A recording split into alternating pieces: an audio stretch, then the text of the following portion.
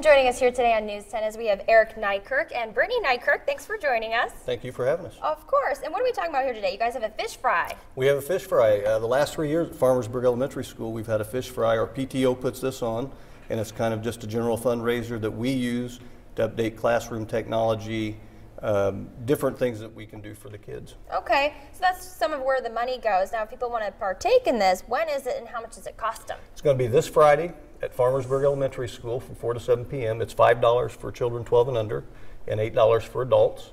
And we hope to see everybody come out. Okay, and a little bit about, you know, you guys do this all the time. What are some of the things you hope to purchase with the money that you guys get? Well, we're all the time we're looking to update computers, classroom computers for uh, the kids. Uh, there's all kinds of new technologies out there that are coming out every day, and we're trying to keep up on all those and apply those to the learning as much as we can.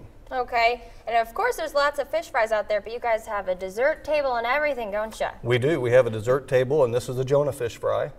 Um, we have a dessert table, and we also do a raffle.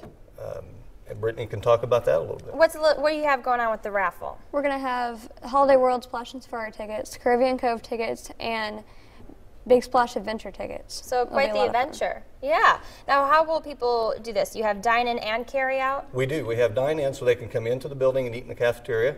They can come in and get their carry out and take it with them if they're in a hurry. We also have a drive through that's on the west side of the building. So if it's raining, you're not you're in a hurry, you can't get out of the car.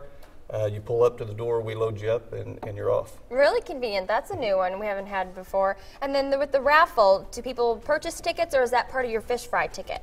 They purchase those. They're a dollar a ticket, or you can get six tickets for five dollars. All right, sounds good. Well, quickly again, um, when is it? And people just can buy them for five dollars for kids, eight dollars for adults. Eight dollars for adults, five dollars for children 12 and under.